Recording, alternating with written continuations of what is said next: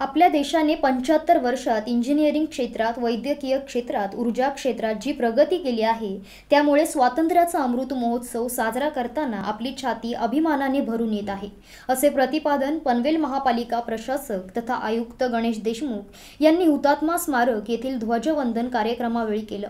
यावेळी आमदार प्रशांत ठाकूर उपस्थित होते. स्वातंत्र्य दिनानिमित्त हुतात्मा स्मारक येथे थोर स्वातंत्र्य सैनिक हिरवे गुरुजींचे नातू नागेश हिरवे यांच्या हस्ते ध्वजारोहण करण्यात आले.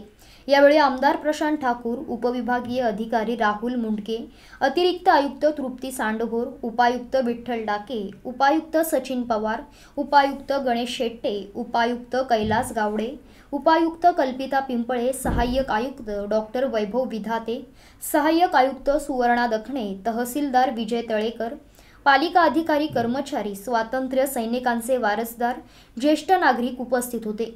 यावेळी आयुक्त गणेश देशमुख यांनी स्वातंत्र्य सैनिकांच्या वारसदारांना येत्या सतरा ऑगस्टला स्वराज्य महोत्सवाअंतर्गत समूह राष्ट्रगीत गायन या उपक्रमामध्ये सामील होण्याचे आवाहन केले आहे. दरम्यान पनवेल महापालिकेच्या कार्यालयाजवळ असलेल्या हुतात्मा हिरवे गुरुजी यांच्या अर्धाकृती पुतळ्यास आमदार प्रशांत ठाकूर माजी सभागृह नेते परेश ठाकूर यांनी अभिवादन केले. स्वातंत्र्याचा अमृत महोत्सव हा शब्द केवळ कागदावर न राहता कृती झाला पाहिजे. असं राज्य शासनाचे केंद्र शासनाचे निर्देश होते.